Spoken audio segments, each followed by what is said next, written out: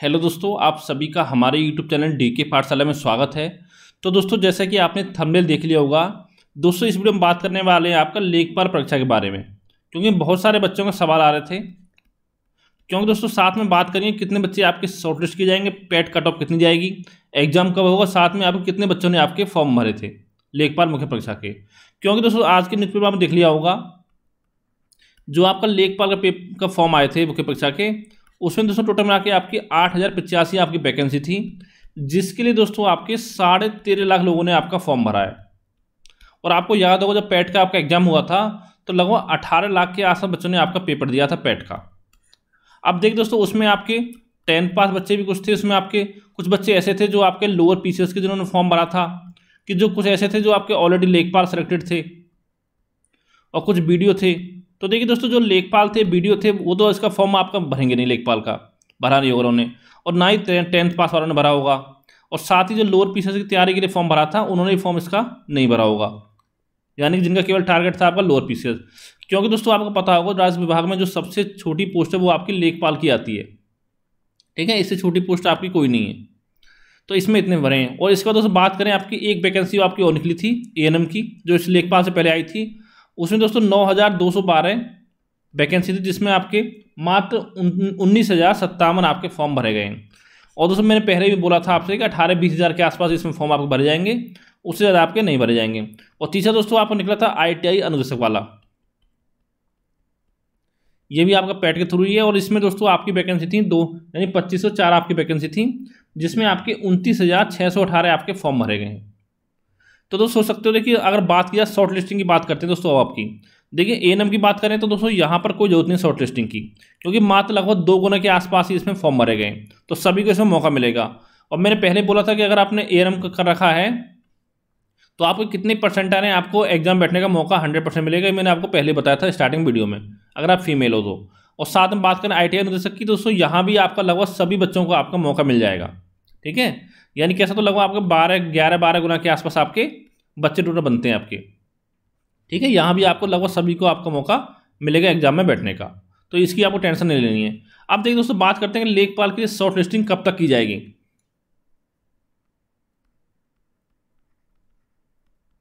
Short listing क्योंकि दोस्तों, आपको याद होगा, जो आपका एएनएम का फॉर्म आया था, वो लगभग आपका लेखपाल से 25 दिन पहले आया था। और आपको यही पता है कि इसमें केवल आपके उन्नीस हज़ार फॉर्म भरे गए हैं। तो उसके बावजूद दोस्तों ए का जो आपका शॉर्ट लिस्टिंग है, वो आपकी अभी तक नहीं किया गया है। यानी मार्च आपका कंप्लीट होने, खत्म होने वाला है।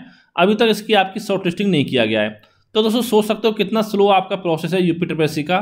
तो देखिए, अगर बात करें हम लेखपाल की तो इसकी शॉर्ट लिस्टिंग दोस्तों अभी आपका समय लग सकता है। क्यों लग सकता है समय क्यों बोल रहा हूँ? क्योंकि दोस्तों, अगर आप यूपी ट्रिपेसी की वेबसाइट पर जाओगे तो आपने देखा हो जहाँ पर आपके फॉर्म भरे गए थे वहाँ पर देखा होगा दोस्तों, अभी तक आपका फॉर्म का वेरिफिकेशन भी अभी तक आपका नहीं हो पाया है। अगर फॉर्म का वेरिफिकेशन आप लोगों ने नहीं किया है तो आप देखिए शॉर्ट लिस्टिंग कहाँ से कहाँ से इतनी जल्दी ये लोग कर देंगे। यानी दोस्तों, अगर आपकी शॉर्ट लिस्टिंग अगर आपके अप्रैल के लास्ट तक हो जाए तो अभी समझना कि आपकी जो किस्मत है, वो बहुत अच्छी है। क्योंकि मुझे नहीं लगता कि अप्रैल के लास्ट तक भी आपकी शॉर्ट लिस्टिंग हो पाएगी। और अगर दोस्तों शॉर्ट लिस्टिंग हो गई तो पता है उसके बाद क्या होगा, इसकी इसकी, हो सकता है दोबारा से आपके आवेदन मांगे जाएँ। कि जो बच्चे मुख्य परीक्षा में बैठेंगे, जिनको शॉर्ट लिस्ट किया जाएगा, उनके आवेदन मांगे जाएँगे। और अगर आवेदन नहीं मांगे गए तो उनसे फ़ीस तो आपकी ली ही जाएगी। क्योंकि पहले ही आपका बोल दिया था विज्ञापन में कि जो बच्चे आपके मुख्य परीक्षा में शामिल होंगे शॉर्ट लिस्ट किए जाएँगे, उनसे अलग से आपका फ़ीस देनी पड़ेगी। और हो सकता है ये आपको डेढ़ सौ रुपये लें या दो सौ रुपये लें। इसके आसपास लेंगे, इससे ज़्यादा आपके नहीं लेंगे। ठीक है? तो इसमें दोस्तों अभी आपका समय लगेगा शॉर्ट लिस्टिंग में। अब बच्चों का सवाल ये आता है कि कितने गुना बच्चे आपके बैठेंगे? तो दोस्तों बता चुका हूँ, अगर बात करें ए एन एम की आई टी की, दोस्तों, इसमें तो सभी बच्चों को मौका मिलेगा। लेकिन शॉर्ट लिस्टिंग की दोस्तों बात है, इसमें देखिए, समझ लीजिए आपको पंद्रह से लेकर बीस गुना के आसपास ही आपके बच्चे एग्ज़ाम में बैठेंगे। उससे ज़्यादा आप नहीं बैठेंगे। अब देखिए बच्चों का सवाल ये आता है कि सर, साढ़े तेरह लाख फॉर्म इसके क्यों डाले गए अगर इतने बच्चे बैठेंगे तो? इसका दोस्तों मैं रीज़न बताता हूँ आपको। बहुत सारे यूट्यूब चैनल ऐसे हैं आपके, जिन्होंने बताया था कि आपको पचास परसेंटाइल पर सिलेक्शन हो जाएगा, साठ परसेंटाइल पर हो जाएगा। और बहुत सारे चैनल तो ऐसे बोल रहे थे कि अगर मान लो सरकार चेंज होती है तो पैट को रद्द कर दिया जाएगा, सभी लोगों को लेखपाल में बैठने का मौका मिलेगा। तो दोस्तों, यही मेन रीज़न रहे हैं आपके कि जो आपके इतने फॉर्म डले गए हैं।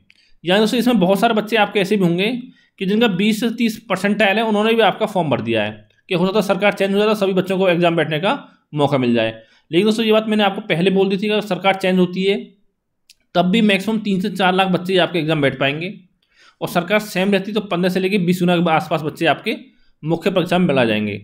अगर दोस्तों आपको यकीन हो तो कुछ दिन आप इंतज़ार कर लीजिए। आपको सब कुछ जो आपके डाउट हैं, वो सारे आपके क्लियर हो जाएँगे। ठीक है? अब दोस्तों बात करते हैं कट ऑफ़ कितनी जाएगी। पैट कट ऑफ़ क्योंकि दोस्तों मैं पहले ही बता चुका हूँ कट ऑफ़ दोस्तों जो आपकी बहुत ज़्यादा आपकी हाई जाने वाली है। ठीक है? जैसे मैंने बताया था आपको, अगर आप जनरल कैटेगरी से बिलोंग करते हो तो आपका 92 से लेकर 94 परसेंटाइल के आसपास आपका होना चाहिए। अगर आपका इससे एक या दो परसेंटाइल कम जा सकता है, उससे ज़्यादा आपका फ़र्क नहीं पड़ेगा। और साथ साथ ही बात करें ओबीसी की तो यहाँ पर आपका नब्बे से लेकर बानवे परसेंटाइल के आसपास, और बात करें ई e की तो यहाँ पर आपका पचासी से लेकर नब्बे परसेंटाइल के आसपास आपकी कट ऑफ़ जा सकती है। फिर दोस्तों बात आती है फीमेल की तो फीमेल की मांग मान सकते हो आप एट्टी फाइव के आसपास, थोड़ा बहुत कम जा सकती है आपकी, और फिर आपका एससी आता है तो एससी की आपकी मतलब अस्सी, पचासी के बीच में और बात करें एसटी की तो हो सकता है इसकी आपकी अस्सी परसेंटाइल से भी कम चले जाए। क्यों? क्यों? देखिए दोस्तों, पता होगा जनसंख्या जो एसटी की यूपी में बहुत कम है और साथ ही अगर दूसरी स्टेट के ने अप्लाई किया हुआ एस में एस टी कैटेगरी के किसी भी लड़का लड़की ने तो उस, आपको पता होगा जो आपका दूसरे स्टेट से अप्लाई करता है, वो आपका जनरल में ही काउंट होता है। ठीक है? तो इसकी कट ऑफ़ आपकी कम जा सकती है। लेकिन दोस्तों, इसके आसपास मान चलो मैक्सिमम आपका दो परसेंटाइल का फ़र्क पड़ सकता है। उससे ज़्यादा फ़र्क इसमें नहीं पड़ेगा कट ऑफ़ में। ये चीज़ आपको अच्छे समझनी होगी। क्योंकि दोस्तों, बहुत सारे बच्चे बोल रहे हैं कि पचास परसेंट बुला जाएँगे, सत्तर परसेंट। तो देखिए दोस्तों, ये कोई आपका सत्यनारायण कथा नहीं हो रही है कि जो भंडारा हो रहा है, प्रसाद बट रहा है, कि सभी को, सभी में बांट दिया जाए। तो ऐसा दोस्तों आपका नहीं होने वाला है। अगर ऐसा ही, अगर इतना बच्चों को बुलाना होता, पचास परसेंटल वालों को तो आप खुद सोचो, जो आपका पेट हुआ तो पेट कराने का फ़ायदा इन लोगों का क्या हुआ? ठीक है? तो फिर दोस्तों पेट कराने का कोई फ़ायदा इनका नहीं हुआ है। तो दोस्तों, ये आपको जानकारी, अब दोस्तों बात करते हैं इसके एग्ज़ाम डेट के बारे में। कि जो आपका इसका एग्ज़ाम है, वो आपका कब तक हो सकता है। तो दोस्तों, ये चीज़ मैं आपको पहले ही बता चुका हूँ कि देखिए दोस्तों, जो मिनिमम इसकी एग्ज़ाम डेट है, वो रहेगी आपकी बीस जून। यानी कि बीस जून से पहले तो आपका एग्ज़ाम नहीं होगा। ठीक है? और जहाँ दोस्तों मुझे लगता है जो इसका एग्ज़ाम है, वो आपका जुलाई के महीने में कंडक्ट हो सकता है। क्योंकि इससे पहले दोस्तों बहुत सारे एग्ज़ाम है जो कराने हैं, आपको पता होगा, जेई का एग्ज़ाम है दो अठारह वाला, जो आपका सोलह अप्रैल को होना है। फिर दोस्तों आपका एएनएम का एग्ज़ाम होना है बी की परीक्षा होनी दो अठारह वाली। और साथ ही दोस्तों आपका ए ठीक है? बोरिंग टेक्नीशियन बोरिंग टेक्नीशियन और साथ में आपका हो गया फॉरेस्ट गार्ड तो दोस्तों ये टोटल में आ गया आपको छः एग्ज़ाम है। पूरी दोस्तों उम्मीद यही है छः एग्ज़ाम में कम से कम आपके पाँच एग्ज़ाम जो हैं, वो लेखपाल एग्ज़ाम से पहले आपके कंडक्ट करा ली जाएँगे। तो यानी इसके एग्ज़ाम में अभी आपका समय लगेगा जुलाई में। तो फिर अगर देखा जाए दोस्तों, अभी भी आपका ढाई तीन महीने का समय कम से कम है। अगर अभी तक आपने किताब खोल के नहीं देखी है तब भी दोस्तों सिलेबस ज़्यादा नहीं इसका, अपनी आप इसकी तैयारी अपनी अच्छी तरह से कर सकते हो। और कैसे तैयारी करनी है उस पर दोस्तों ऑलरेडी वीडियो में बना चुका हूँ कि कौन सी बुक आपको पढ़नी है। और साथ ही बता दूँ, कोई भी आपको पेड कोर्स लेने की ज़रूरत नहीं पड़ेगी। आप बुक से तैयारी कर सकते हो अच्छे से, ठीक है? तो दोस्तों यही आपको जानकारी देनी थी। अगर दोस्तों वीडियो आपको अच्छा लगा तो वीडियो को लाइक करें, साथ ही चैनल को सब्सक्राइब करना ना भूलें। तो थैंक यू फॉर वॉचिंग